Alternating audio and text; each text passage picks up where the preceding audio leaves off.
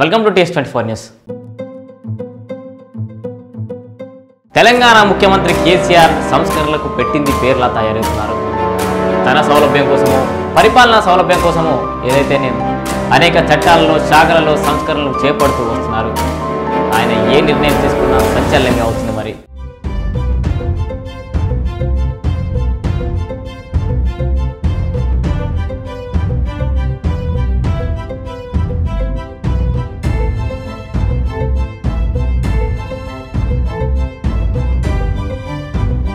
ఇక అవినీతి మరియు ఆలస్యానికి మారుపేరు లాంటి రెవెన్యూ శాఖలో కీలక సంస్కరణలకు సిద్ధమయ్యారు.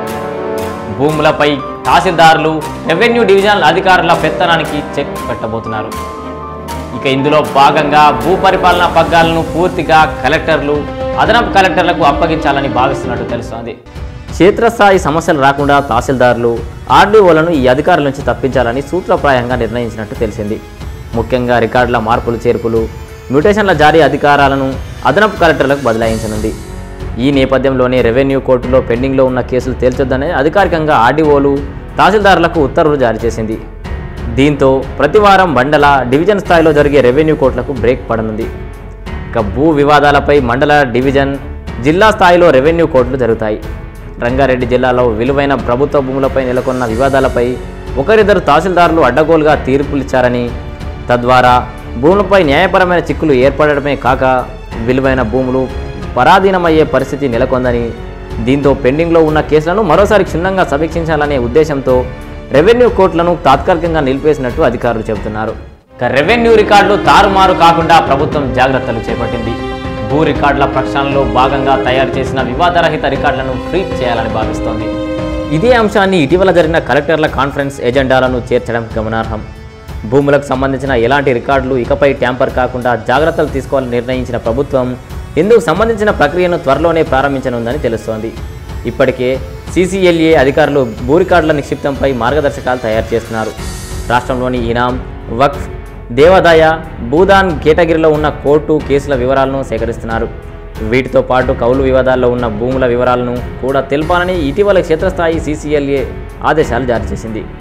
ఇక భూముల మ్యూటేషన్లు ఇరవై నాలుగు గంటల్లో పూర్తి చేయాలన్న సీఎం కేసీఆర్ ఆలోచనల మేరకు మ్యూటేషన్ ప్రొసీడింగ్స్ ఇవ్వడమే కాకుండా ఆన్లైన్ పంపిణీలో నమోదు చేసేలా చట్టంలో పొందుపరిచే అంశాన్ని ప్రభుత్వం పరిశీలించినట్లు తెలుస్తోంది. రెవెన్యూ చట్టంలో మరో కీలక నిర్ణయానికి ప్రభుత్వం మొగ్గు చూపుతున్నట్లు తెలుస్తోంది. రెవెన్యూ శాఖను సంస్కరించడం చట్టంతో సరిపోదని భావిస్తున్న సీఎం కేసీఆర్ పాలన వ్యవహారాలను గాడిలో పెట్టేందుకు అధికారులకు కోత పెట్టడమే కాకుండా వేలు లాంటి కొన్ని అధికార వ్యవస్థలను రద్దు చేయాలని నిర్ణయించారు. జిల్లా రెవెన్యూ అధికారి డిఆ డిఆర్ఓ గ్రామ రెవెన్యూ అధికారి విఆర్ఓ వ్యవస్థను రద్దు చేయాలని నిర్ణయానికి వచ్చారు.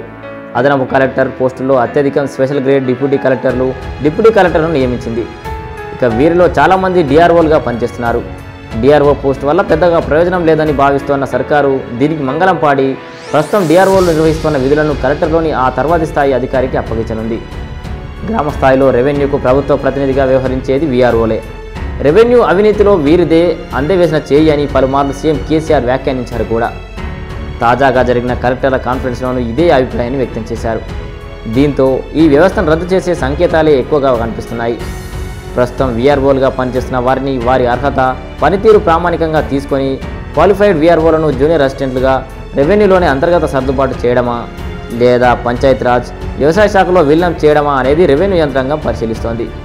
ఇక రెవెన్యూలో అవినీతికి సర్వేయర్లు కూడా ప్రధాన కారణమని చెప్పుకొచ్చిన సర్కార్ ఆ వ్యవస్థను ప్రైవేటీకరించే యోచన చేస్తోంది. ఈ మేరకు ప్రైవేట్ సర్వేయర్లను లైసెన్సులు జారీ చేసింది. గ్రామ రెవెన్యూ సహాయకులను కూడా పంచాయతీరాజ్ శాఖలో విలీనం చేసే అవకాశం కనిపిస్తోంది. ఇక ఈ సంస్కరణలు ఎంత మేరకు ఫలితాలను ఇస్తాయో వేచి చూడాల్సిందే. Stay tuned TS twenty four news ఆత్మగౌరవ ప్రతీక.